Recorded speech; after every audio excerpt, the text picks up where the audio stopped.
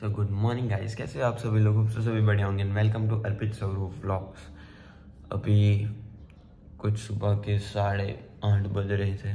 पौने नौ, पता नहीं। और मैं बहुत ज़्यादा थका हुआ हूँ। कल रात को बहुत लेट हो गया सोने में। और उसके बाद आज कोई भी सूट नहीं है। आखिरकार। और मैंने सोचा था आराम से सॉरी सॉरी मैंने सोचा था कि आराम से बारह बजे उठूँगा, लेकिन पता नहीं कि नींद नहीं आ रही इतनी ज़्यादा। और बहुत बोर हो रहा है।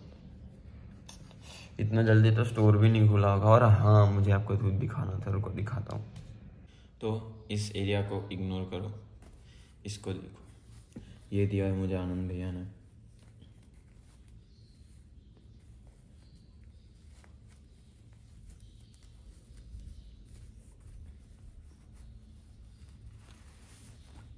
ये रहा वो माइक जो आनंद भैया ने मुझे दिया है। बोया कंपनी का है।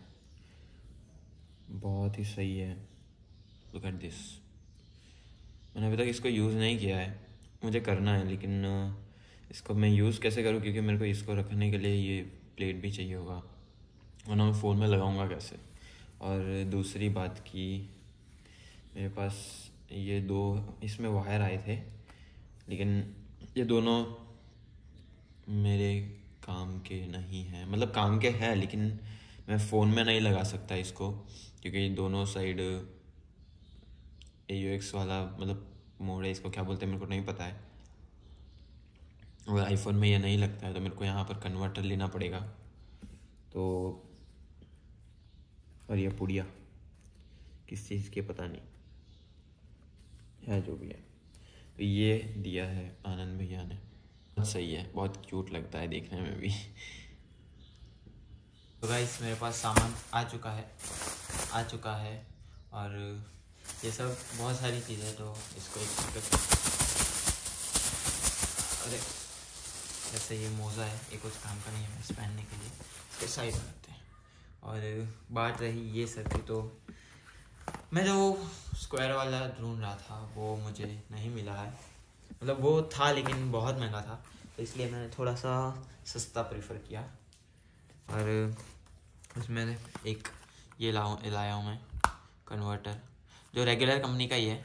देखते हैं अभी कैसा है, सस्ता, चाइना का माल। देखो चाइना, दिख रहा है? ये रहा, चाइनीस। इसको भी साइड में रखते हैं, फिर एक ये है। भी ये शायद रेगुलर कंपनी है पता नहीं। है तो चाइना ही। लाइक हम्म, ये सब चीज़ें चाइना वाले ज़्यादा बनाते हैं। तो ये भी साइड में रखते हैं। और ये हाँ वैसे ही क्या था वो बताना भूल गया। ये वो ऊपर रखने के लिए माइक का। और ये चीज़ फ़ोन के लिए फ़ोन लगाने के लिए। इसमें हम अपना फ़ोन रख सकते हैं। इसमें साइड में से लॉक दिया गया है। खोलने ए? अच्छा खुलता नहीं, बंद तो हो जाता है ऑटोमेटिक इसमें। तो ये भी आ गया। इसको साइड में रखते हैं। तो भी निकाल के दिखाता हूँ।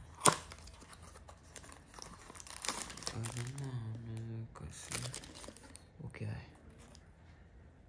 चाइना इसकी क्वालिटी वैसे सही है हैवी है मटेरियल ये कन्वर्टर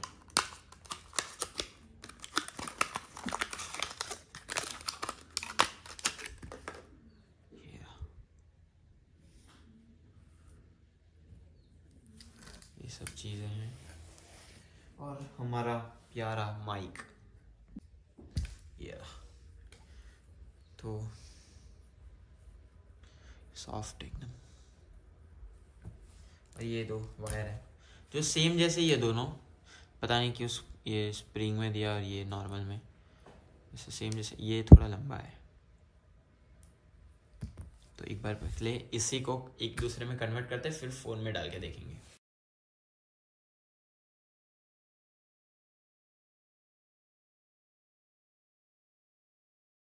तो ये रेडी हो चुका है, लग चुका है, लेकिन अभी मुझे नहीं पता क्या है।